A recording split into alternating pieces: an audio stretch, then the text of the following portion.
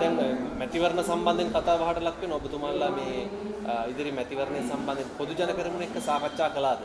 අපි හැම පක්ෂයක් එක්කම කතා කරා. එක පක්ෂයක ඉලක්ක කළ නැහැ. මොකද අපිට අවශ්‍ය වෙන්නේ නිර්පාක්ෂිකව ජනාධිපති වික්‍රමසිංහ අභියෝගයක් බාර අරගෙන අද පේන්න තියෙනවා. අධ්‍යාපනයේ ආර්ථිකය විදේශ සම්බන්ධකම් මේ ඔක්කොම තරුණ තරුණියගේ අනාගතය සුරක්ෂිත කිරීම මේවා කරගෙන යන අවස්ථාවේදී වෙනින් අය සිහිනමවන අවස්ථාවේදී මෙතුම අභියෝගේ බාර අරගෙන කටයුතු කරගෙන කියලා තියෙනවා. අන්න ඒ නිසා මම හිතන විදිහට පළපුරුද්දක් තියෙන ඉදිරි දැක්මක් සහිතව කතාව නෙමෙයි ක්‍රියාවෙන් ඔප්පු කරන්න ඡන්දයක් ඉලක්කය කරලා සුරංගනා කතා කරන්න නැතුව ඒක ප්‍රායෝගිකව කරන්න පුළුවන් ගමනක් ඇති කරන එක තමයි එතුම කළා තියෙන්නේ ඒකට අපි සියලු දෙනාම අත්වල් බඳින්න ඕනේ කියන මතය තමයි සිටින්නේ. තවමත් ජනාධිපතිතුමාට සහායක් වෙන්නේ පොදු ජන පෙරමුණනේ කියන්නේ පාර්ලිමේන්තුව තුල එතකොට මේ ඉදිරියේදී පොදු ජන පෙරමුණේ සහාය මොන වගේ විදියට ලැබෙයි කියලාද ඔබතුමා බලාපොරොත්තු වෙන්නේ? මම නැවත එක පක්ෂයෙන් නෙමෙයි රටේ සියලුම පක්ෂ ඒක රාශි වෙලා කටයුතු කිරීමක්. ඉතින් මේ අවස්ථාවේදී යථාර්ථ පාර්ලිමේන්තුව එකයි.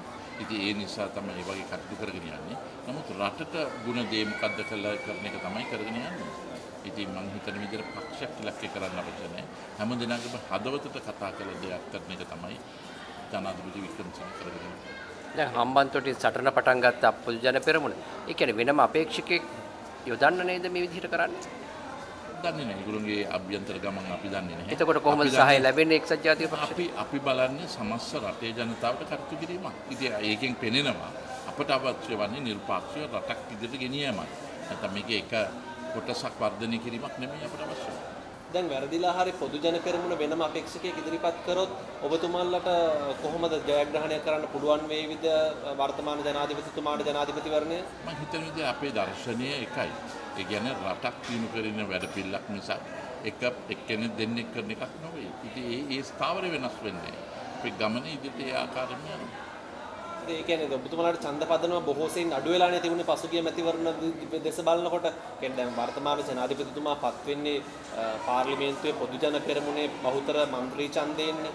එතකොට මේ පොදු ජන පෙරමුණේ සහාය ඉදිරියේදී නොලැබුණොත් ඒ කියන්නේ පොදු ජන පෙරමුණ වෙනත් අපේක්ෂකයෙක් ඉදිරිපත් කළොත් ඔබතුමාලා කොහොමද මැතිවරණයට මුහුණ දෙන්නේ? මම හිතන්නේ අද රටේ ජනතාව සිටින්නේ දේශපාලන හැම දිනම වපරහැකින් බලාගෙන ඉන්න එක.